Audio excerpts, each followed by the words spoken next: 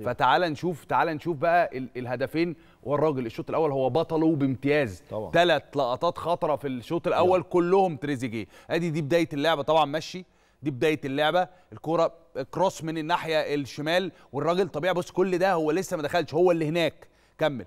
كمل بعديها ال frame اللي كمان. بص بقى بص بقى الراجل فين. ارجع تاني معلش. معلش ارجع frame كمان. بص يا كريم. الراجل اللي عامل ال cross في الأساس في أقصى الناحية الثانية هو تريزيجيه. بص بقى الرؤية والإسكان والوعي. ومهاجمة المساحة. صح. هو عنده المساحة اللي قدامه دي كلها فاضية وده ده خطأ كبير طبعا من فرقه بوركينا فاسو.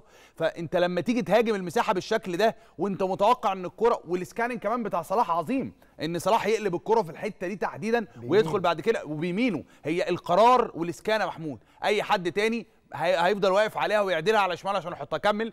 بص بقى حركة تريزيجيه. ركز مع حركة تريزيجيه. آخر لعيب في الصورة فوق من منتخب مصر. والراجل مركز وعامل scan بيهاجم المساحه منتظر الكرة تجيله في المساحه كمل ال frame اللي بعده.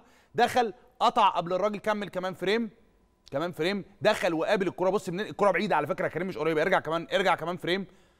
الكرة بعيدة مش قريبة ابدا. تفاصيل الجول هي اللي صعبة. الراجل متابع. وبيهاجم المساحة ويخش يلعبها برأسية. هو لعيب مش تخصصه إجادة الرأسيات ويحطها بالشكل ده في, الثمانيه بالطريقة دي. كريدت كبير جدا جدا لتريزيجيه بيكمل مسيرة مستواه الثابت أو شبه الثابت في السنوات الأخيرة. ولا هو يستاهل إن قيمته التسويقية تقترب من 10 مليون ويستاهل أكتر من كده. 10 مليون يورو هو راجل عنده 30 سنة.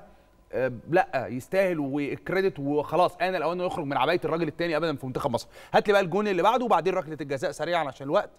آه، دي دي, الرأسية يا كريم والتوجيه. بص كمل. ال frame اللي وقف قبل ما تروح ال frame اللي بعده. ارجع معلش تاني ارجع معلش تاني.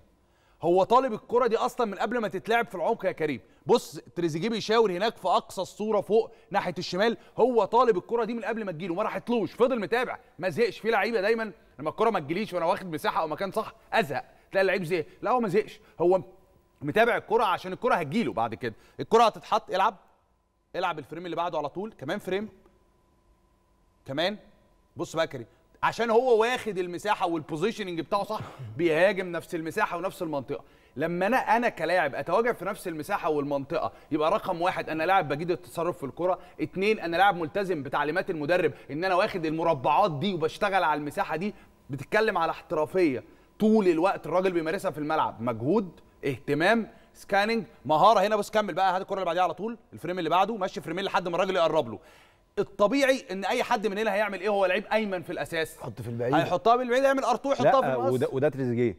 وده تريزيجيه. يعني تريزيجيه هو بتاع ال R2. وصلاح بيعملها من الناحية الثانية صح. دايما أي لعيب القرار الأولاني هيعمل إيه؟ فلقى الراجل إنه ممكن يتعمل له block أو الكوره تخبط في الم- في المدافع اللي قدامه.